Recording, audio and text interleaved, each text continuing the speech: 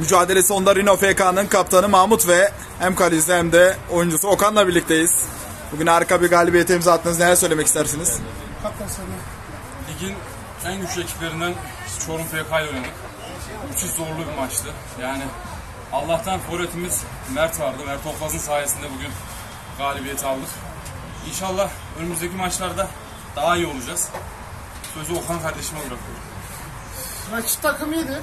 Güzel efor sarf etti. Güzel koştu. Güzel mücadele etti.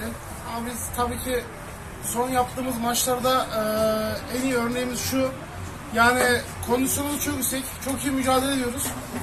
Rakip takımı tebrik ediyorum. Bundan sonraki yapacağı maçlarda da başarılar diliyorum kendilerine. Bu kadar.